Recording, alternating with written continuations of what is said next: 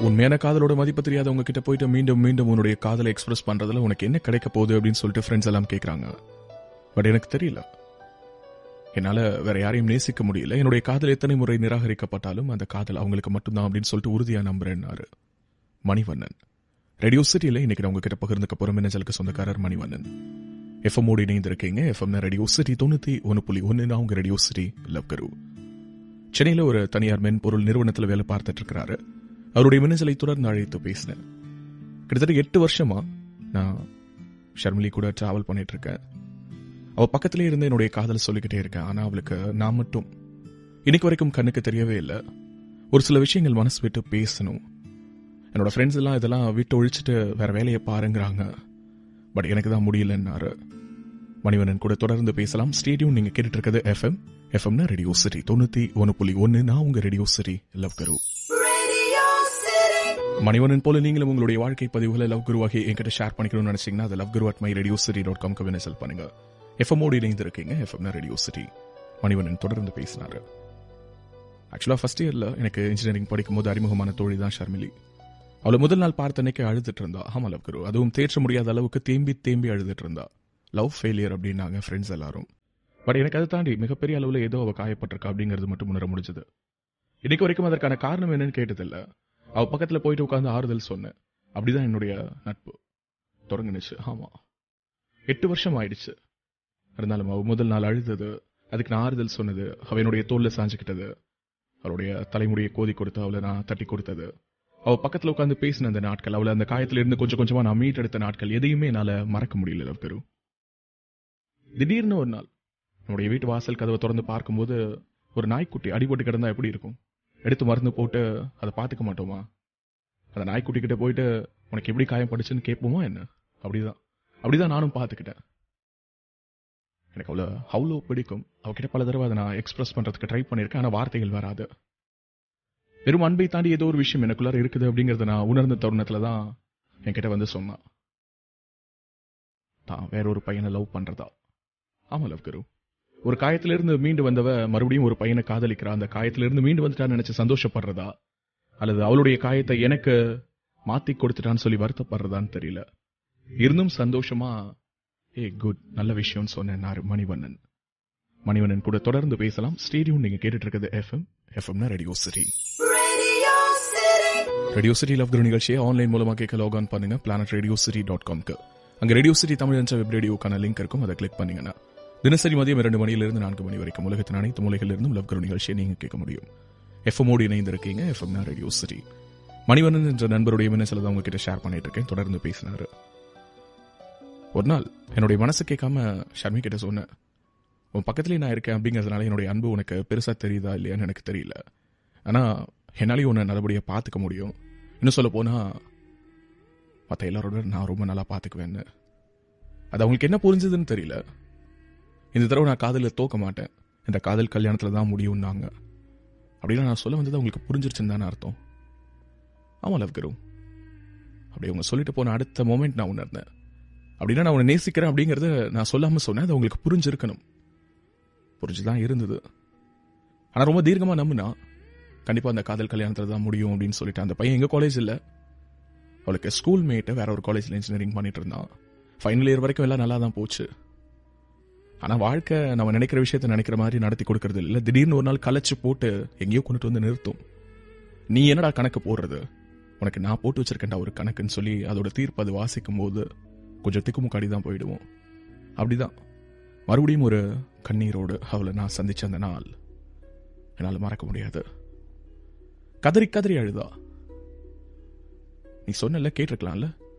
என் பக்கத்துல நீ இருந்தல்ல? நீ என் கண்ணுக்கே தெரியல. வேற யாரோ தான் என் கண்ணுக்கு தெரிஞ்சாங்க. மறுபடியும் காயத்தோட வந்து உன் பக்கத்துல நிக்கிறேன். ஒரு ஃப்ரெண்டா என்னை ஏத்துக்குவியான்னா உன்னை நான் எப்போ நான் ரிஜெக்ட் பண்ணேன்? இப்போ புதுசா ஏத்துக்கிறதுக்கு என்னைக்குமே நீ எனக்கு ஃப்ரெண்டு தான் சொன்னாரு மணிவண்ணன். மணிவண்ணன் கூட தொடர்ந்து பேசலாம். ஸ்டேடியம் நீங்க கேட்டுட்டு இருக்கிறது FM எஃப்எம்னா Radio City. Radio City Love Guru நிகழ்ச்சியில இன்னைக்கு மணிவண்ணன் நண்பருடைய மின்னஞ்சல தான் உங்ககிட்ட ஷேர் பண்ணிட்டு இருக்கேன் எஃப்எம் ஓடி இணைந்து இருக்கீங்க எஃப்எம்னா ரேடியோ சிட்டி மணிவண்ணன். அவருடைய கல்லூரியில அறிமுகமான தோழி ஷர்மிலி பர்சன நினைவுகளை தான் நம்ம கிட்ட மீட்டெடுத்து பகிர்ந்துக்கிட்டாரு. எட்டு வருஷத்துக்கு முன்னாடி முதல் முதலா ஷர்மிலியை மீட் பண்ண அன்னைக்கு அவங்க அழுதுகிட்டு தான் இருந்திருக்கிறாங்க. காதல் தோல்வி. அவங்களுக்கு ஆறுதல் சொல்றதுக்காக பக்கத்தில் உட்கார்ந்த இடத்துல தான் தொடங்கியிருக்குது இந்த நட்பு.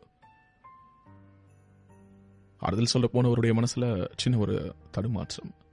ஒரு அழகான காதல் எப்படி வேணாலும் வச்சுக்கலாம். ஆனா அதை சொல்ல முடியாம தவிச்சிருக்கிறாரு. மீண்டும் ஒரு முறை வேறொரு பையனை காதலிக்கிறத அவங்க வந்து சொல்லியிருக்கிறாங்க. அதையும் அவர் பெருசா எடுத்துக்கல. தன்னுடைய மனசில் இருக்கக்கூடிய காதலையும் அவர் எக்ஸ்பிரஸ் பண்ணிடல அமைதியாகவே இருந்திருக்காரு ஆனால் பக்கத்திலே இருந்திருக்கிறாரு விட்டுட்டு போயில்ல. அதற்கு பிறகு நடந்த நிகழ்வுகள் என்ன அதை பற்றி தான் பேசினார்.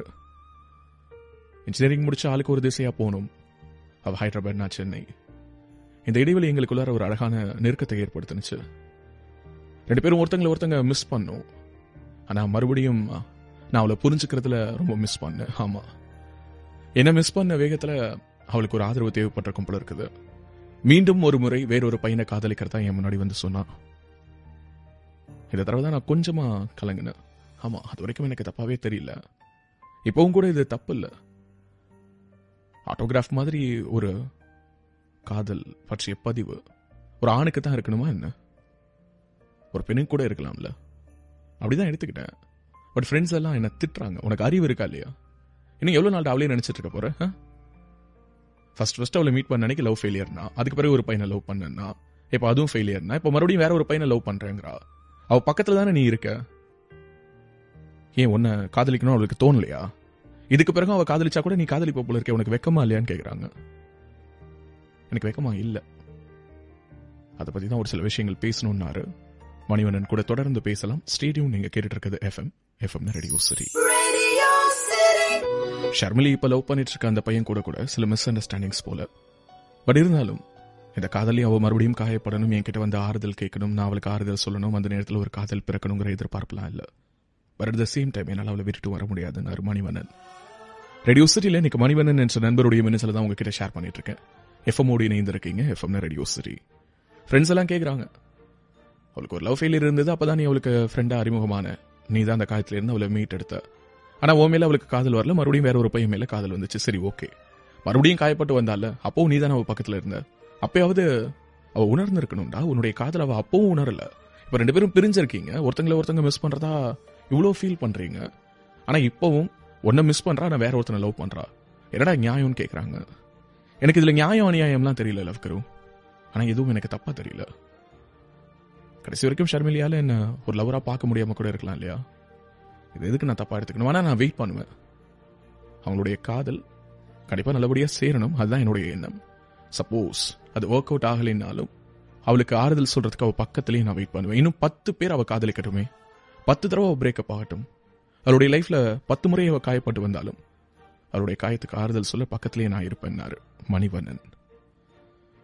மணிவண்ணனுடைய உணர்வுகளை நான் ரொம்பவே மதிக்கிறேன். ஆனா மணிவண்ணனுடைய நண்பர்கள் சொல்லக்கூடிய வார்த்தை என்ன? அதற்கு பின்னாடி இருக்கக்கூடிய நியாயம் என்ன? ஒரு சில வார்த்தைகள் மணிவண்ணனுக்கு ஷேர் பண்ணிக்கணும்னு நினைக்கிறேன். இந்த பாடல்களுக்கு பிறகு. ஸ்டேடியம் நீங்க கேட்டுட்டு இருக்கிறது எஃப்எம் எஃப்எம்னா ரேடியோ சிட்டி தொண்ணூத்தி ஒன்னு புள்ளி ஒன்னு நான் உங்க Radio City Love Guru.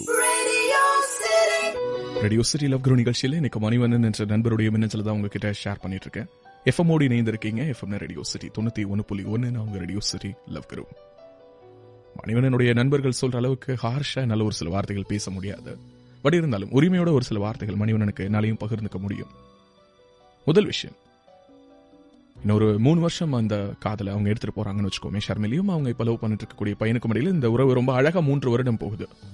To the worst case suppose இந்த காதலும் தோத்துருது இந்த காதலும் பிரிஞ்சிருது. ஏதோ ஒரு காரணத்துக்காக மறுபடியும் உங்ககிட்ட வந்து அவங்க அழறாங்கன்னு வச்சுக்கோமே. நீங்க மறுபடியும் ஆறுதல் சொல்லுவீங்க அந்த காயத்திலிருந்து மீண்டு வரும்போது கூட அவங்க மறுபடியும் உங்களை தான் காதலிப்பாங்கிறதுக்கு எந்த விதமான உறுதியும் கிடையாது. மறுபடியும் ஷர்மிலியுடைய மனசுல ஒரு காதல் வரலாம். அந்த காதல் வேற ஒரு நபர் மேல கூட இருக்கலாம். சோ எந்த விதமான அஷூரன்ஸும் கிடையாது. ஏன்னா எந்த ஒரு இடத்துல அவங்க உங்களை லவ் பண்றதா சொல்லவே இல்லை. அப்படி இருக்கும்போது என்ன அடிப்படையில நீங்க வெயிட் பண்ண போறீங்க? எவ்வளவு நாளைக்கு வெயிட் பண்ண போறீங்க? எத்தனை வருஷங்கள் வெயிட் பண்ண போறீங்க? சப்போஸ் ஒருவேளை சந்தோஷமா நல்லபடியாக இந்த காதல் கேரி ஃபார்வர்ட் ஆகி அவங்க ரெண்டு பேரும் வாழ்க்கையில இணைச்சிட்டாங்கனாலும் அப்பவும் ஷர்மிலி உங்களுக்கு கிடைக்க போறது இல்ல. அப்போ நீங்க என்ன பண்ணுவீங்க? சரி ஒரு விஷயம் நமக்கு கிடைக்காது அப்படின்னு தெரிஞ்சிருச்சுன்னு வச்சுக்கோங்களேன். அட்லீஸ்ட் மனசு தேத்திக்கலாம். அது கிடைக்கும் கிடைக்கும் நம்பிட்டே இருந்து கடைசி அது கிடைக்காம போகும்போது ரொம்ப வலிக்கும். உங்களுடைய மனசுல இருக்கக்கூடிய உணர்வை இது வரைக்கும் ஒரு தடவை கூட உடச்சு நீங்க அவங்க கிட்ட பேசவே இல்லை. ஒரே ஒரு தடவை உடச்சு பேசிருங்க. இவ்வளவு அன்போடையும் காதலோடையும் நம்ம பக்கத்துல இத்தனை வருஷமா காத்துட்டு இருக்கேன். நான் ஏன் உன்னுடைய கண்ணுக்கு தெரியலன்னு நீங்க கேட்டீங்கன்னா அட்லீஸ்ட் அவங்களுடைய வார்த்தைகள் வந்து விழும் இல்லையா? நீங்களாவே இப்போ ஒரு அசம்ஷன்ல தான் இருக்கீங்க. என்ன அவ ஒரு நண்பனாக மட்டும்தான் பாக்குறாளோ அவளுக்கு ஏன் நான் கண்ணுக்கு தெரியல? அப்படின்னு சொல்லிட்டு பல கேள்விகள் உங்களுக்குள்ளார இருக்குது. உங்களுடைய நண்பர்களும் கேட்கறாங்க அந்த கேள்விகளுக்கான பதில் கிடைக்கிறதுக்கான சாத்தியம் இருக்குது. இன்னும் சொல்ல போனா அவங்களுடைய மனசுல என்ன இருக்குது அப்படிங்கிறது புரியும். அடுத்து என்ன பண்ணணும் அப்படிங்கிறது உங்களுக்கும் தெரியும். அதனால தயவு செய்து உடைச்சு பேசுங்க அண்ட் uh, அவங்களுடைய மனசுல இப்ப வேறொரு நபர் இருக்கிறாரு அப்படிங்கிற போது நீங்க ஒன் சைடா கூட அவங்களை காதலிக்கிறது தப்புன்னு தான் நான் சொல்லுவேன்.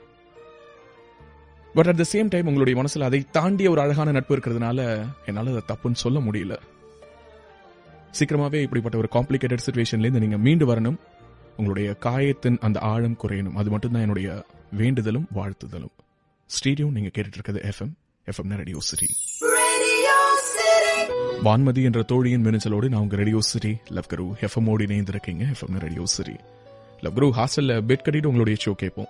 எனக்கு பாரு கண்டிப்பா இந்த ஷோல இந்த மாதிரியான ஒரு ட்விஸ்ட் இருக்கும் அப்படின்னு சொல்லிட்டு உங்களுடைய வாழ்க்கை பதிவுகளுக்கு நாங்க ஒரு ஸ்கிரீன் பிளே எழுதுவோம். இன்னைக்கு என்னுடைய லைஃப்ல ஒரு சின்ன உங்களுடைய உதவி தேவைப்படுது. ஆமா லவ் கரு என்னுடைய லைஃப் ஸ்கிரீன் பிளேல நான் செய்திருக்கக்கூடிய விஷயங்கள் நான் செய்திருக்கக்கூடிய மாற்றங்கள் சரியா தப்பா அப்படின்னு சொல்லிட்டு எனக்குள்ளார ஒரு கேள்வி. லவ் பண்ணிட்டு இருக்கேன் என்னுடைய ஸ்கூல் மேட் தான் அவர் ஸ்கூல்ல இருந்து நல்ல நண்பர்கள் இப்போ இன்ஜினியரிங் என்றதுக்கு பிறகு அந்த நட்பு காதலாக மாறி இருக்குது பட் என்ன லவ் குரு அவனுக்காக நான் நிறைய விஷயங்கள் என்ன மாத்திட்டு இருக்கேன். ஃப்ரெண்ட்ஸ் எல்லாம் சொல்றாங்க எதுக்கடி உன்னை நீ இவ்வளோ மாத்திக்கிற? உனக்கு என்ன அறிவு இல்லையான்னு கேட்குறாங்க எனக்கு என்னவோ அது தப்பா தெரியல பட் ஃப்ரெண்ட்ஸ் ரொம்ப அழுத்தம் திருத்தமா அதை திரும்ப திரும்ப சொல்லும்போது ஆமா நம்மளே கொஞ்சம் மாறிட்டோமே அப்படின்னு சொல்லிட்டு எனக்குள்ளார ஒரு எண்ணம் வருது. நீங்க பல தடவை சொல்லியிருக்கீங்க. எங்கெல்லாம் நம்ம காம்ப்ரமைஸ் பண்ணாம இருக்கிறோம். எல்லா இடங்களையும் தான் காம்ப்ரமைஸ் இருக்குது. அப்படி இருக்கும்போது ஒரு சில விஷயங்கள் ஒத்து போகலாம் அப்படின்னு சொல்லிட்டு. பட் இருந்தாலும் எனக்குள்ள இந்த கேள்வி போட்டு ரொம்ப குறையுது. தர் இஸ் அ லிமிட்னா எல்லாத்துக்குமே இங்க ஒரு லிமிட் இருக்குதுல்ல? எவ்வளோ நம்மளை விட்டு கொடுக்கலாம்? எவ்வளவு சமரசங்கள் செய்துக்கலாம்? எனக்கு அந்த லிமிட் புரியல லவ் குரு என்ன நான் இழந்துட்டு இருக்கணும் அப்படிங்கிற ஒரு எண்ணம் கூட எனக்குள்ளார லைட்டாக வருது. But at the same time இது காதல் தானே. அதனால என்ன அப்படின்னு சொல்லிட்டு எனக்கு நானே ஆறுதல் சொல்லிக்கிறேன். பட் ஃப்ரெண்ட்ஸ் எல்லாம் சேர்ந்து நீ ரொம்ப மாறிட்ட நீ ரொம்ப மாறிட்டேன்னு சொல்லும்போது எனக்குள்ளார ஒரு கேள்வியும் வருது. அந்த கேள்வி தான் எனக்கு உங்க முன்னாடி வச்சிருக்கேன். Is there any limit Love Guru நம்மள மாத்திக்கிறதுக்கு அல்லது அவங்க சொல்ற விஷயத்த கேட்கறதுக்கு எனக்கு இந்த கேள்விக்கு நீங்க பதில் சொல்லணும்னு சொல்லியிருக்காங்க. இந்த தோழிக்கு பதில் இந்த பாடல்களுக்கு பிறகு. ஸ்டேடியம் நீங்க கேட்டுட்டு இருக்கிறது FM FM Radio City Radio City. விட்டு கொடுத்து தான் போறேன். இருந்தாலும் ரொம்ப ஓவரா விட்டு கொடுத்து போற உன்னுடைய சுயத்தை இழக்கிறங்கிற மாதிரி என்னுடைய ஃப்ரெண்ட் சொல்றாங்க. இஸ் தர் எனி லிமிட் அப்படிங்கிறது தான் வான்மதி என்ற தோழியின் கேள்வி. எஃப்எம் ஓடி நீங்க எஃப்எம் ரேடியோ சரி தொண்ணூத்தி ஒன்று புள்ளி ஒன்னு நான் உங்க ரேடியோ சரி லவ் கரு ஆக்சுவலாக வான்மதி உங்களுக்கே தெரியும். உங்க ஃப்ரெண்ட்ஸ் தான் அதை சொல்லணும்னு அவசியமே கிடையாது. எது நீங்க அப்படிங்கிறது உங்களுக்கு தெரியும். உங்களுடைய சுயத்தை இழக்கிறீங்களா அப்படிங்கிறது உங்களுக்கு தெரியும். சில நேரங்களில் நம்முடைய சுயத்தை கூட இழக்கலாம் தப்பு கிடையாது. நீ நான் அப்படிங்கிற அந்த வேறுபாடு எல்லாம் தூக்கி ஓரமா வச்சுட்டு நாமாக மாறுவது தான் காதல். நான் அவனுக்காக நிறைய மாறிட்டேன் அப்படிங்கறத சொல்லி காட்டுறது காதலே கிடையாது. அப்படின்னா லவ் குரு என்ன நீங்க திட்டுறீங்களானா அவங்கள நான் திட்டல. பட் உங்க ஃப்ரெண்ட்ஸ் எல்லோரும் சொல்லக்கூடிய வார்த்தைகளை கேட்டு ரொம்ப இன்ஃபுளுயன்ஸ் ஆகாதீங்க. நான் வாழ்க்கையை வாழ போறது நீங்க தான் நாளைக்கு இந்த ஒரு சின்ன விஷயத்துக்காக ஒரு சின்ன மிஸ் அண்டர்ஸ்டாண்டிங் உருவாகி உங்க ரெண்டு பேருக்கும் இடையில ஒரு சின்ன மனஸ்தாபம் வருதுன்னு வச்சுக்கோமே உங்க ஃப்ரெண்ட்ஸால அப்பவும் அட்வைஸோ சஜஷனோ தான் சொல்ல முடியுமே தவிர உங்களுடைய வாழ்க்கையை வாழ முடியாது. நான் அடிக்கடி சொல்றதுதான் எத்தனையோ இடங்கள்ல பல முகமுடிகளை போட்டுக்கிட்டு தான் நம்ம வாழ்ந்துட்டு இருக்கோம். அந்தந்த ரோலுக்கு ஏற்ற மாதிரி நம்முடைய கேரக்டரிஸ்டிக்ஸ் தாண்ட ஒத்தே வராத பல விஷயங்களை கூட செய்யறோம் எத்தனை பேருக்கு அவங்களுக்கு பிடிக்காத விஷயத்த இல்லை எனக்கு பிடிக்கல அப்படின்னு சொல்லி ஒதுக்கி வச்சுட்டு முகத்துக்கு நேராக சொல்றதுக்கான ஒரு வாய்ப்பு அவங்களுடைய வேலையில் அமைஞ்சிருக்குது. அல்லது அவங்களுடைய மற்ற மற்ற ரோல்ஸில் கிடைச்சிருக்கு சொல்லுங்க. காதல்னு வரும்போது மட்டும் நம்ம செய்யக்கூடிய அந்த சின்ன சின்ன சமரசங்கள் கூட நமக்கு ரொம்ப பெருசாக தெரியுது. ஏன்னா சுற்றி இருக்கவங்க மேக்னிஃபை பண்ணி காட்டுறாங்க. அதனால உங்க ஃப்ரெண்ட்ஸ் சொல்றது தப்புன்னு நான் சொல்ல மாட்டேன். பட் அவங்களுக்கு அவங்களுடைய காதலில் இருந்து அதை உணரும் போது தான் தெரியும். ஏன்னா நீ நான் அப்படின்னு சொல்லிட்டு தனியாக துருத்திட்டு தெரியறது காதலே கிடையாது. அந்த காதலை நம்ம கரையணும். எப்படி ஒரு ஐஸ் கியூப் தண்ணியில் கரையுமோ அந்த மாதிரி. ஸோ அதனால் ரொம்ப போட்டு இதை பெருசாக எடுத்துக்காதீங்க. அழகான ஒரு காதல் இருக்குது. அதனால தான் இவ்வளோ விஷயங்களை விட்டு கொடுத்து அந்த காதலை அழகாக நீங்கள் கேரி ஃபார்வர்ட் பண்ணி போயிட்டு இருக்கீங்க தப்பு கிடையாது. But at the same time நீங்கள் பண்ணுறது தப்பு உங்களுடைய சுயத்தை இழக்கிறீங்க அப்படிங்கிற ஒரு உள்ளுணர்வு உங்களுக்குள்ளார வர்ற வரைக்கும் எதுவுமே தப்பு கிடையாது. அதை மட்டும் மனசில் வச்சுக்கோங்க. ஸ்டேடியம் நீங்கள் கேட்டுட்டு இருக்கிறது எஃப்எம் எஃப்எம்னு ரேடியோ சரி சுமித்ரா என்ற தோழி மினசல் பண்ணிருக்காங்க லவ் குரு. இது வரைக்கும் யாராவது உங்களுக்கு ரொம்ப முக்கியமான வாழ்க்கை பதிவுகளை அனுப்பியிருக்காங்களா? அல்லது நீங்க ஃபோன் பண்ணி நீங்க அவங்க கிட்ட அவங்களுடைய வாழ்க்கை பதிவு பற்றி பேசும்போது ரொம்ப முக்கியமான கதையை சொல்லி பயங்கரமா ஃபீல் பண்ணவங்கள கடந்து வந்திருக்கீங்களான்னு சொல்லி கேட்டிருக்காங்க. மற்றவங்களுடைய லைஃப்ல நடக்கும்போது தான் சுமி அது வந்து ரொம்ப முக்கிய தெரியும். நம்முடைய லைஃப்ல நடந்ததுன்னா சின்னோண்டு விஷயமா இருந்தாலும் அது ஒரு அழகான உணர்வா மாறிடும். எஃப்எம் ஓடி இணைந்திருக்கீங்க எஃப்எம் ரேடியோ சிட்டி தொண்ணூத்தி ஒன்று புள்ளி ஒன்னு உங்க ரேடியோ சிட்டி லவ் குரு. ஒரு சில பேர் பதினைந்து இருபது பக்கங்களுக்கு மின்னஞ்சல் எழுதுவாங்க. படிச்சு பார்த்தோன்னா அதுல இருக்கக்கூடிய நிகழ்வுகள் ரொம்ப சாதாரணமா தெரியும். ஆனா அது சாதாரணமான நிகழ்வுகள் கிடையாது. படிச்சு பார்க்குற நமக்கு வேணா அது சாதாரணமா இருக்கலாம். வாழ்ந்து பார்த்து அவங்களுக்கு. அதுதான் அவங்களுடைய வாழ்வின் அதி உன்னதமான தருணம். அதுதான் அவங்க வாழ்க்கையுடைய பொக்கிஷம். அதை எப்படி ரொம்ப போரிங்காக என்னால் எடுத்துக்க முடியும் சொல்லுங்க. கிட்டத்தட்ட மூன்று வருடத்துக்கும் மேலாக இந்த பயணத்துல எந்த ஒரு மொமெண்ட்ல ஒரு சின்னோட ஒரு உணர்வை ஷேர் பண்ணிக்கிட்டாலும் அது எனக்கு ரொம்ப ப்ரெஷியஸாக தான் தெரியும். ஏன்னா அது அவங்க வாழ்ந்த அந்த மூமெண்ட் இல்லை அதை பத்தி திரும்ப பேசும்போது அவங்களுடைய இடத்துல நின்று பார்த்தோம்னா தான் தெரியும். இட்ஸ் லைக் எம்பத்தைசிங் அப்படின்னா லவ் குரு எல்லாருடைய வாழ்க்கையும் நீங்க வாழ்ந்து பார்த்து அப்படியே ஃபீல் பண்ணி உருகி அப்படிதான் சொல்றீங்களா அப்படின்னா கூடுமான வரைக்கும் முயற்சி பண்றேன் ஒரு சிலருடைய வாழ்க்கை பதிவை பகிரும்போது என்னால் ஜஸ்டிஃபை பண்ண முடியல அப்படின்னா அது ஷோலே ரிஃப்ளெக்ட் ஆயிடும். கூடுமான வரைக்கும் அதை நான் தவிர்த்துருவேன் இந்த ஷோல கூட பாத்தீங்கன்னா அந்த சுச்சுவேஷன்ஸ்க்கு ஏற்ற மாதிரி பாட்டெலாம் வர்றத ஒரு சில பேர் கிண்டல் கூட பண்ணுவாங்க. எங்க இருந்தா தேடி பிடிச்சி பாட்டு போடுறாருன்னு தெரியல. வேணும்னே அழ வைக்கிறாரு அப்படின்னு சொல்லிட்டு. அழ வைக்கணுங்கிறது இன்டென்ஷன் கிடையாது. பட் அவங்களுடைய உணர்வுக்கு ஒரு மரியாதை கொடுக்கணும்ல? அந்த உணர்வை அந்த பாடலும் கடத்திட்டு போகணும்ல? அப்பதான் அந்த உணர்வு இறுக்கமா நம்மள பிடிக்கும். அது அவங்களுடைய உணர்வுக்கு நான் கொடுக்குற ஒரு மரியாதையா நினைக்கிறேன். அண்ட் இது எல்லாத்தையும் தாண்டி இவ்வளோ ஒரு பிஸியான ஸ்கெடியூல்ல ஒரு ரேடியோ கேட்குறோம் ஒரு என்டர்டைன்மெண்ட் மீடியா அப்படிங்கிறத தாண்டி இவன் கிட்ட ஷேர் பண்ணலாம் அப்படிங்கிற ஒரு நம்பிக்கையோட ஒருத்தங்க மெனச்சல் பண்ணும்போது அது எவ்வளோ சின்னோண்டு விஷயமா இருந்தாலும் சரி. மேபி மற்றவர்களுடைய பார்வைக்கு அது மொக்கையாக தெரிந்தாலும் சரி. ஆனா அவங்களுடைய உணர்வை நான் மதிக்கிறேன். அதனால தான் என்ன மதிக்கிறாங்க இந்த ஷோக்கு மின்னஞ்சல் பண்றாங்கன்னு நான் நினைக்கிறேன். ஸ்டேடியம் நீங்க கேட்டுட்டு இருக்கிறது FM எஃப்எம்னா radio city City. Radio city love Guru நிகழ்ச்சியை ஆன்லைன் மூலமா கேட்க லாக் பண்ணுங்க. பிளானட் ரேடியோ சிட்டி டாட் காம்க்கு அங்க ரேடியோ சிட்டி தமிழ் என்ற வெப் ரேடியோக்கான லிங்க் இருக்கு. அதை கிளிக் பண்ணீங்கன்னா தினசரி மதியம் இரண்டு மணியிலிருந்து நான்கு மணி வரைக்கும். இரவு ஒன்பது மணியிலிருந்து பதினோரு மணி வரைக்கும் லவ் குரு நிகழ்ச்சி நீங்க கேட்க முடியும். ரேடியோ சிட்டி லவ் குரு என்கிட்ட நீங்க கேட்கணும்னு நினைக்கக்கூடிய உணர்வுகள் சார்ந்த உறவுகள் சார்ந்த கேள்விகள் எதுவாக இருந்தாலும் அதை love Guru at my radio city dot காம்க்கு மின்னசல் பண்ணுங்க. எஃப்எம்மோடு இணைந்திருக்கீங்க. FM radio city